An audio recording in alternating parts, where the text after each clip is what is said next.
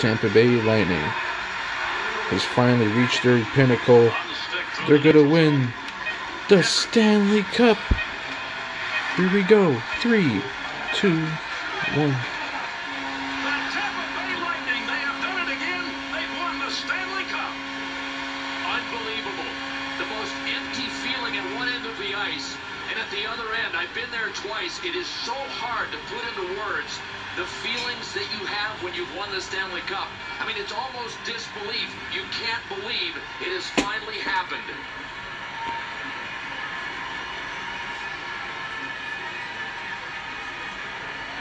The most famous line in all of sports. Two teams shaking hands. You gotta love that. You congratulate the winners, but the winners also say to the losers, we have a lot of respect. This is the Conn Smythe Award. Let's see who our winner is. Gary, when you win this one, you have truly won something that signifies you are a pressure player. Congratulations on this Conn Smythe win.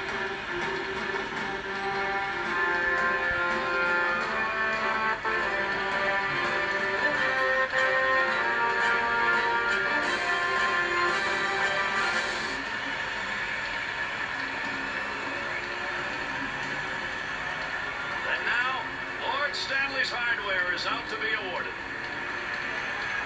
The presentation will be made to the captain. 2020. Your new Stanley Cup And finally, champions. For in the National Hockey League, the one Let's go. Where they can touch the cup.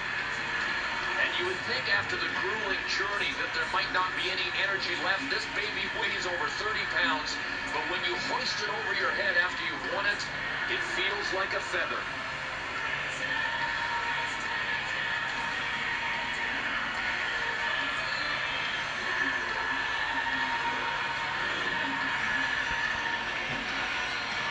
Lord Stanley's Cup yet one more time supreme in this picture. And happiness is being able to pose for this picture right now. Hey, Stamkos.